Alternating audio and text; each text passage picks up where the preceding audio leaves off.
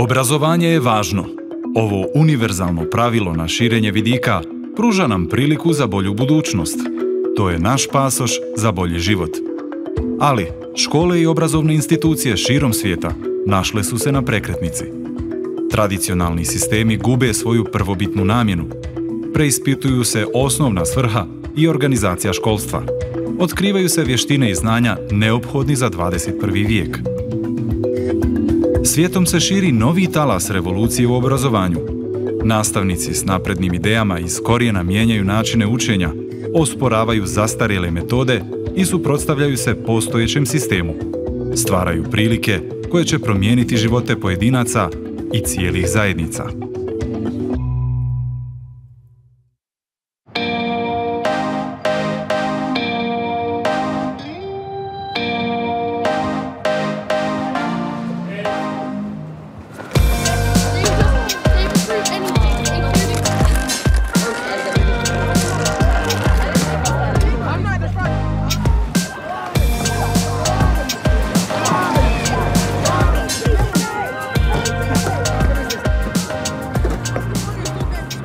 Being out on the water with a nautical school like this is a pretty great experience. Uh, I love being out here. This is a Friday, period three, and look, we're, we're on the Royal Victoria docks. That in itself makes this school a great place to be, and I think it also inspires us as a school to do things in different and unique ways.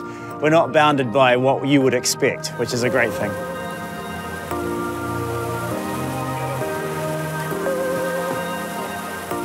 When I first came to the UK, one thing that did strike me was the amount to which the system for education focuses on exam outcomes. There's a lot of punishment associated with doing badly in exams, it seems. It's often led to really conservative approaches in the classroom in schools. There's a risk-averse process. I think there's much more that we should be doing in classrooms than simply getting ready for exams.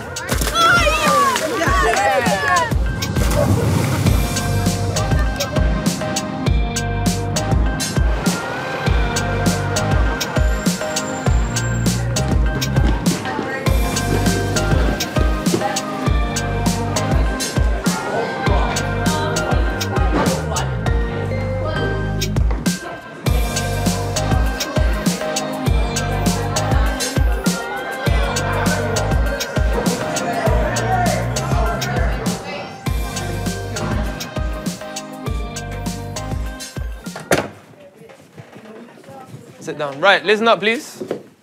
Listen up, boys.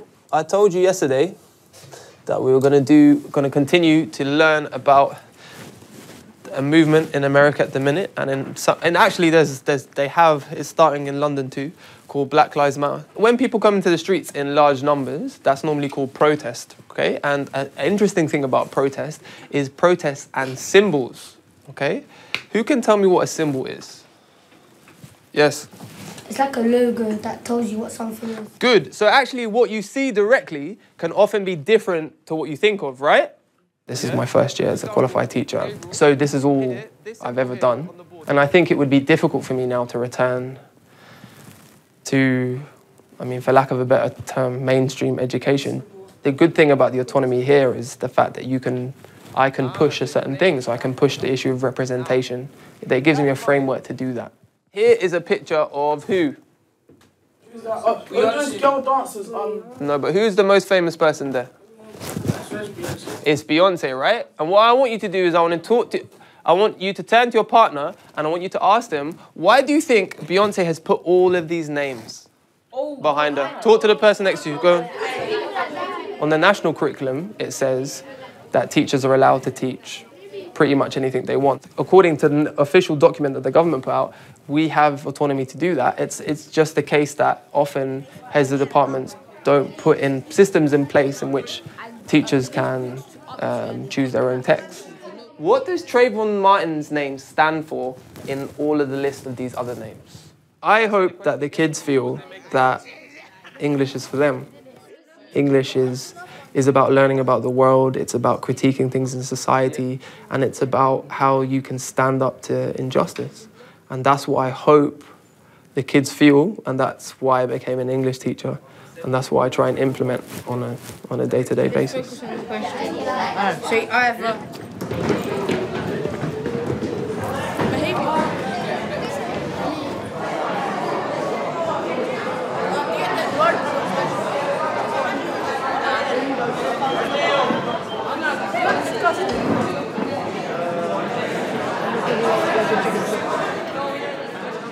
This is the time when you get to choose who your English teacher is for the next two years. We have a set of beliefs in the English department here about you. The first thing we believe is that you can be trusted, that you are the perfect person to decide where and how and with whom you learn. You decide how hard the program of learning that you think is suitable for you should be. You decide the topic, you decide the style of learning, and then you get on and succeed. We do not want to break you into groups who we think will achieve and groups who we think won't. That is none of our business. At the end of it all, you will all sit the same GCSE examinations and you will all have the same chance of succeeding. But the path you will follow to get there will be very different.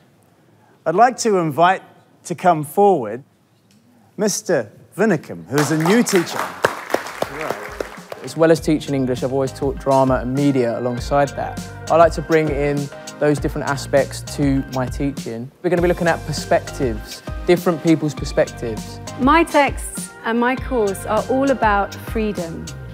What freedom is, what freedom means. I'm interested in the opinions that you bring to these texts because that's what makes it interesting.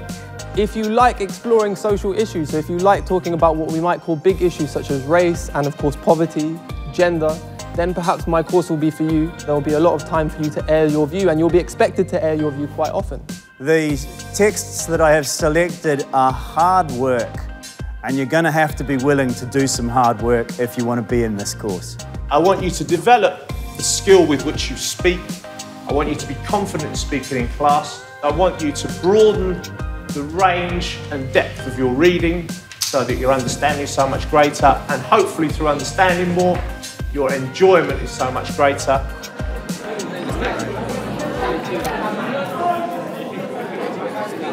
I think I might pick Mr. O'Brien. Like, out of all the teachers, he seems like he's like not down to our level, but he can understand. He understands us more.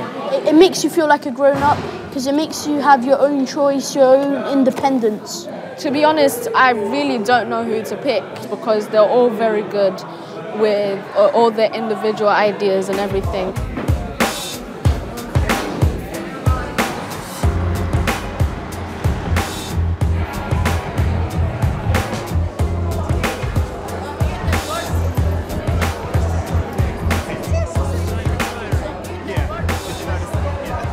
We've invited you to have a conversation with us about the way that we work in the English department.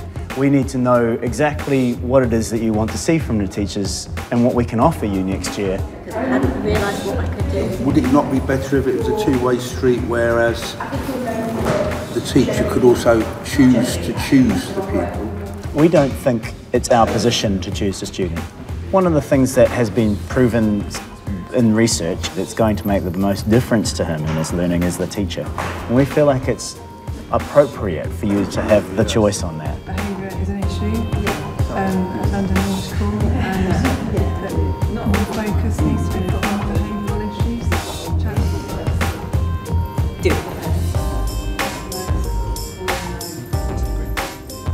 Every teacher has a blog for each class, so you can look at the work that Ruben's being provided with, and each student has their blog, so you can look at your son's work or you can look at the work of the other students in that class if you're interested in seeing what others are doing. You can also go onto that same site and find all the information about all the possible badges he could ever want to achieve. Any concerns or um, problems with the idea of us publishing all of this material? I don't know, I just think they're very out there. Maybe that's I'm older. Um, I don't know, but you, you, there's sort of a certain feeling that you need to protect them. Yeah. You feel like he was vulnerable for Yeah. abuse. Yeah. We think as a school and as educators, it's our job to also inform them about how to be online. And by providing them with a publishing mechanism that is under our control, they we can then moderate the choices they're making and be in, be with them in their online world. We're concerned also.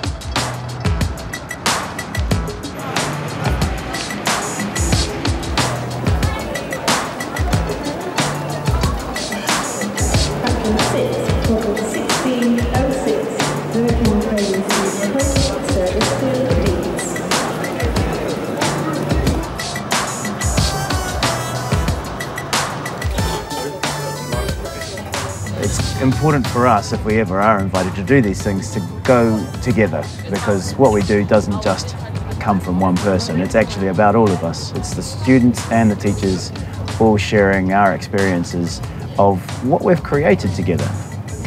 The thing is a conference for teachers. So the only people there except for you four will all be teachers. Because we do things so unusually, they're interested to see how that actually works in a school. And what and one of the things we agreed was that it's actually more real if the students talk about your point of view than we just say students really like it. Talk about what you want to talk about, really. Yeah. Because that's what the people want to hear. For each of you, there might be a different thing. Now, I'm not sure, but Harry, because you've engaged massively with achievement and gone and done your own badges and things like that, it might be that you're in a position to talk about that. That's what I was thinking. Yeah. Our English class, yeah, is different. It's, it's not, it doesn't, uh, even though we use our basic skills that we've learnt, yeah, we use it to do more advanced things like what we're doing right now. You don't normally get to have that conversation. Normally, you'll go into a classroom in another school and they will tell you what your program of learning is going to be, and that's what you do for the year.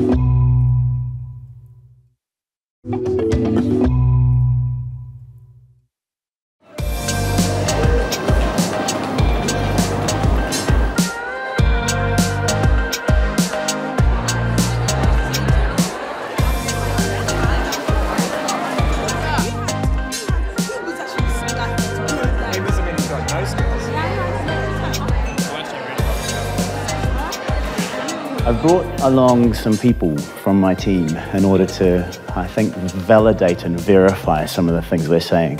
I'm going to talk to you about a whole new system of working that encourages teachers and students to take responsibility for themselves. Our school is not really an ordinary school, yeah. You can um, do your work on your phones and then um, upload it to your blog and then your teachers can see it. Usually, your teacher would be like, oh, I wasn't expecting that, here, just read a book. And to be honest, like, I can read a book at home. I don't, don't need to tell me to read a book. Like, I want to continue learning and try and achieve more. We're the only school that I know of that chooses their own English teacher. And I think that, in a way, it matures you and, like, it makes you, sorry, I'm a bit nervous, but it makes you more like, like your self-esteem goes up. I think I picked Mr. O'Brien because I saw his course and I think I could relate to it because I live in the inner city. You'll have to believe me when I say this. I haven't said to Foyen, say those things, right? Like, and so when Foyen says, I think that Mr. O'Brien's course is good for me because it's about the inner city and we talk about social issues. Well, I mean, I think that if I was in, when I was in school, I would have liked to have said that about my teacher. And I feel like the fact that we study writers of color and Foyen can read about those writers of color and he can see himself in those books is very important because if we don't, we often talk about diversity in schools, right? But if, if we don't have diversity in terms of the things that we study in English, how will we ever have diverse English teachers? So we really invite your input. We would love to hear what you have to say about what you've heard. We're online, we're on, we've got websites for everything. We would love to hear from you. When I first saw the students were here, my, I thought, oh, is it, it's not going to be quite as slick or as smooth or something that I'm going to get, I'm going to really get anything out of. But I was so moved about, you know, how it was so genuine and honest that it got me to thinking about how possibly I could sort sort of mimic it for my own school. That came across that they hadn't handpicked the students, that the students had put themselves forward, and it gave it a feeling of genuineness that you know made it easier for me to sort of take that and see that it worked. I think that I wouldn't have any problem having students choose my classes, but I can specifically think of two or three members of my department where students wouldn't pick it. And I'd worry as well that those members of staff would be affected by the fact that they weren't picked. We get a very favourable response to our ideas when we share them with people. And at the same time, they generally say one universal thing, and that is, we love this, but we could never do this. We say, why not? I wanted them to take away that our school's a good school and that what we do in the English department as a whole is, is excellent.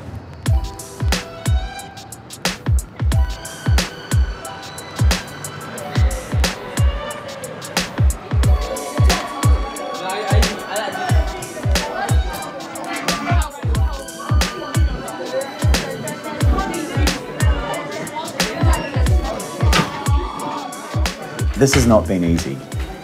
Within a state school institution, people dislike change, they, they're risk averse. And within the school, I have had to battle with people in order to get them to agree for us to go ahead with these programs and processes. They challenge the very fundamental nature of how schools work.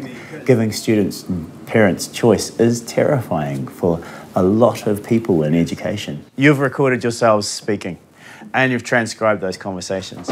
What I want to do now is start to identify as many as possible of these modifications to standard English that you've made in your conversations. about your work when you're doing this. How often do you use the word basically? All the time. I'm going to start the sentence we start. When you're basically telling a story in a way. One more minute. What did you just say? Since we have such high stakes accountability in this country, if you are going to do something that is different from the norm, school leaders are always going to find it quite, um, quite threatening, particularly when the school leaders they're accountable for the quality of your work.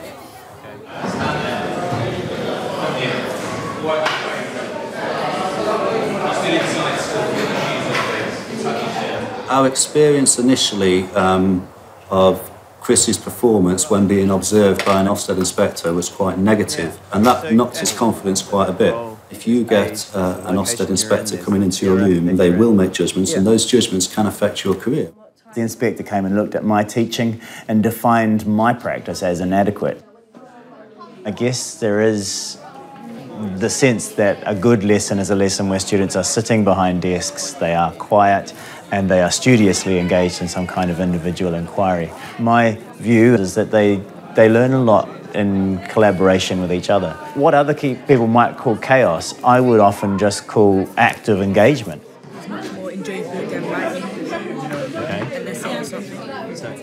Over the years, as the results that we have achieved have come through the system and revealed themselves, the inspectors are much more amenable to the work we do, to the extent that the most recent visit from Ofsted ultimately gave us a very good uh, rating.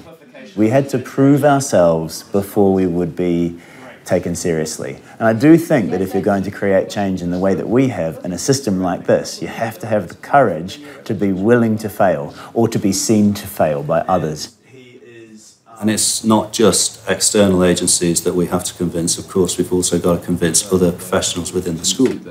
Not all professionals agree. They don't necessarily, although this model is working in English, it's not a model that everyone wants to adopt because it is a lot of work and it is a very different way of working um, from the way that many teachers who've been teaching for a long time are used to.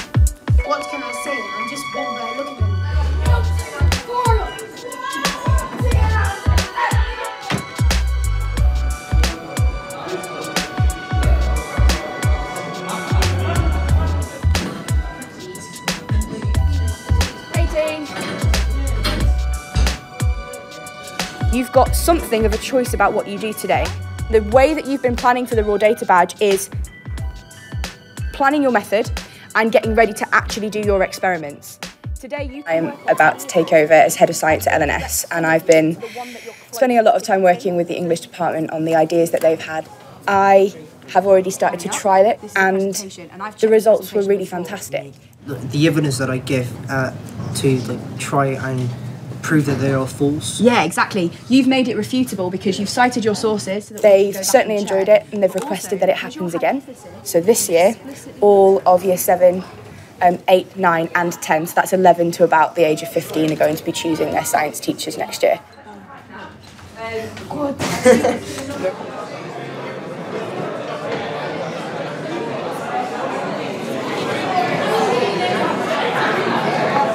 Chaps on the third row, we're ready to begin. Every teacher in my department teaches differently. We each have different approaches and different classroom philosophies. From today, you have been given the chance to make a decision that is incredibly important to your success. The kids have been through this before. They've done it so many times. They know exactly what to expect. And my team are the people that are standing there for the first time, selling themselves, which is something that's not really asked of you very much in teaching. We're used to being the ones that are very much in control in our room. If you believe you're more of an independent worker, you'll be best in my classroom. I really want to make it that we talk about these issues that are going on in the world right now, that we bring it a little more relevance. There's no room for nonsense. You have to be prepared to work hard. My team in the science department are uh, almost entirely new. More than half of my department have never taught here before. The turnover of staff in science departments in the UK at the moment is generally quite high, and the reason for that is there's a real shortage of science teachers. The students that were there this morning have um, you know, seen a few teachers come and go at this stage, and a couple of them have said, you know, what's the point in choosing your teacher if they're going to be leaving soon anyway? It saddens me, actually, that they have come to believe that, uh, that we might disappear on them and not be around to see the, the course through.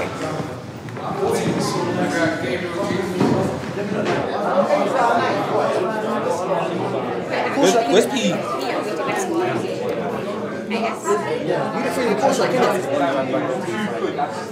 I woke up this morning quite petrified actually because I mean it's the same feeling as many other people in the country, many other students my age. We're not sure what we're gonna get. I mean this piece of paper with letters, it controls our lives basically. You get into